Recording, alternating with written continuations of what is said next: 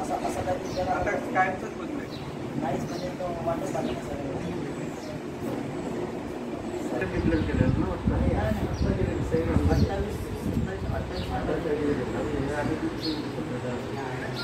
अठ्ठावीस हे जे दिवाळीसाठीचे जे वस्तू असतात ते लोक पण त्याच्यामध्ये सर्व.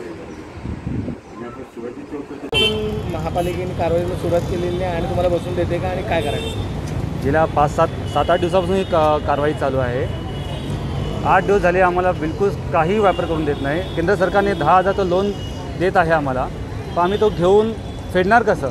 दहा दिवस झाली कारवाई चालू आहे. तो व्यापार करणार कसा? आणि जर घेतला तर तरी आम्ही कसं फेडणार तो? ह्याचं उत्तर आयुक्तांनी द्यावं आम्हाला. आम्ही कसं काय व्यापार आमचा रोजगार आम्ही कुटुंब पालणार कसं? सहा महिने लागले. सहा महिने झाले. आम्ही सतत घरी बसून एकही दिवस इथं आलो नाही. पण आता ही आमच्या शिजवायची सीझन आहे. दोन पैसे कमवण्याची आम्ही संधी आहे. त्याने आमचा उदरनिर्वाह होणार आहे. तर आम्ही पुढे कसं आहे जर ही मुसीब कारवाई अशी चालू राहिली दिवाळी निघून गेल्यानंतर लावायचं आहे. पण आता या दोन आत्ताच व्यापार करून ते पुढे करणार काय? दोन पैसे कमवणार कसं आणि दोन फेडणार कसं? जर केंद्र सरकारने दहा हजार लोन देतं मग फेडणार कसं आम्ही ते? त्यांना बसून देत नाही आहेत दिवाळीचा काळ आहे त्यामुळे कोरोनाच्या काळामध्ये पण सहा ते आठ महिने घरीच होते.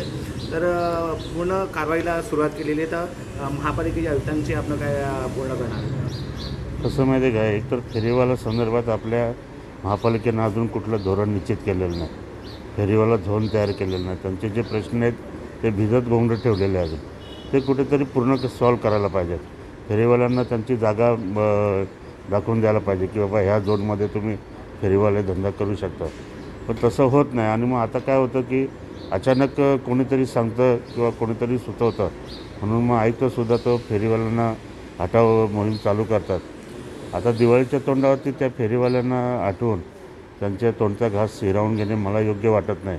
त्यामुळे काही अटीशर्ती कंडिशन घालून त्या फेरीवाल्यांना धंदा करू द्यावा अशी मागणी आयुक्तांकडे आपण आताच केलेली आहे. मी त्यांच्याशी फोनवर बोललेलं आहे.